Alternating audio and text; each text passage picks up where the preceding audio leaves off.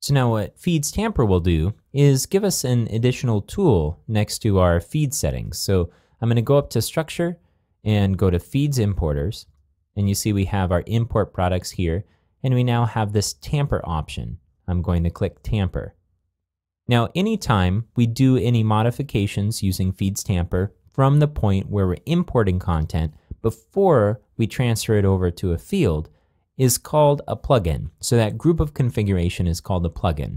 Now, plugin is another one of those words that gets used interchangeably in a number of different contexts in Drupal, so don't let this confuse you. This is just something the module author decided was a good description of this, but it's not associated with any other type of plugin. So you see we have the different mappings here. We have name to title, description of body, and image to image.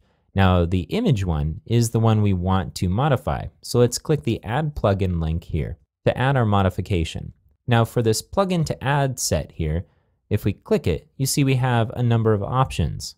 The one we want here is rewrite and it's under the other category, but you can see we have several other options. We can decode HTML entities, we can make URLs absolute, we can strip the tags from the imported content, all of these probably sound pretty straightforward, and you can think of certain use cases where you'd want to do this. It's a good idea to read through this list to get a sense of the different options available through Feeds Tamper. There's a lot you can do here that will help you to not do manual editing later on. So we want the rewrite option, so I'm going to check that.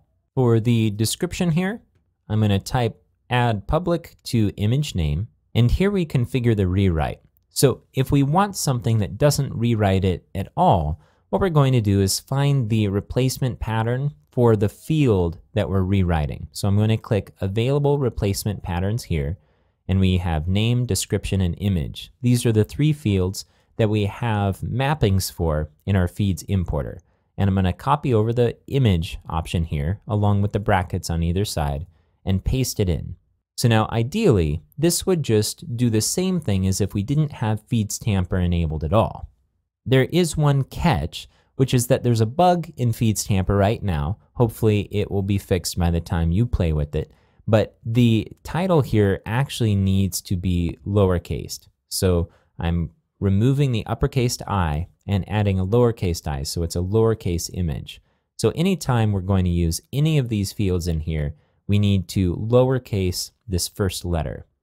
So if we saved this and did an import, it would import exactly what it imported last time. But again, we want to add the public bit plus the subfolder that our images are in to the beginning of this image part. So I'm going to type public colon slash slash. And again, let's go back to our file explorer and take a look at the folder name where our products are. Okay, it's product dash images. I'm just going to copy this right here and jump over back to the browser and paste it in.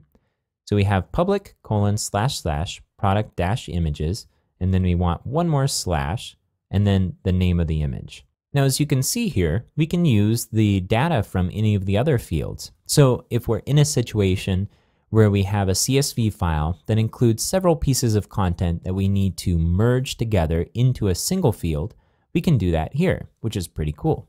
And now that we've done this, let's go ahead and click Add to save the plugin. And you see we have it here. And now I think we're set to try the import again. So I'm going to go to Structure, Feeds Importers, and click that. And then up here in the paragraph again, we're going to click Import. We'll click Import Products, and we'll scroll down. And you see it has the file here. Well, I'm going to choose our file again because I don't want to assume that whatever file is listed here is the one that we just imported. So this is just in case we made some modifications in the meantime. We didn't, so even if we didn't upload a file, we should be okay, but I want to upload it just because I'm a little bit paranoid. So I'm going to click Reviews to Import, and I'll click Import. Okay, so it says it created three nodes. Let's take a look at these, cross our fingers, and see if our images got imported as well. So I'm going to click on Content up here in the browser, and let's click on Canned Unicorn Meat again. Hey, here's our image. So everything imported properly. Now again, we didn't actually import the image, we just imported the path correctly using the Feeds Tamper module. We had to upload the images separately before we did the import in order for this to work.